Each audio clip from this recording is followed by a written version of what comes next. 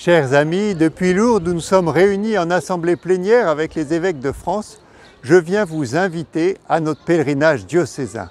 Nous savons que c'est un temps fort essentiel pour la vie de notre diocèse. Nous aimons nous retrouver avec les malades, les hospitaliers, mais aussi avec les jeunes, avec les pèlerins bien portants, tous ensemble invités par Marie pour vivre ce beau temps qui nous renouvelle dans notre foi, un temps aussi de fraternité, un temps de communion.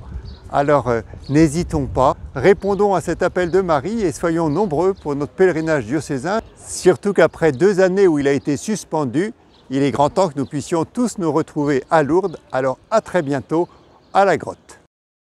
Je pense que le mot fraternité, il se vit à Lourdes. C'est le, le premier mot qu'on peut trouver dans l'accompagnement du malade. Eh ben, on va aider les personnes âgées euh, à se déplacer, par exemple si elles veulent aller au chemin de croix comme on a pu le faire aujourd'hui ou aux piscines. Parce que c'est vraiment la fraternité, en fait c'est même pas un mot assez fort pour moi. Et quelque chose qui me touche ici pas mal, c'est comment les jeunes rayonnent au contact de ces malades qu'ils accompagnent. Et ça, beaucoup le remarquent et ça fait du bien.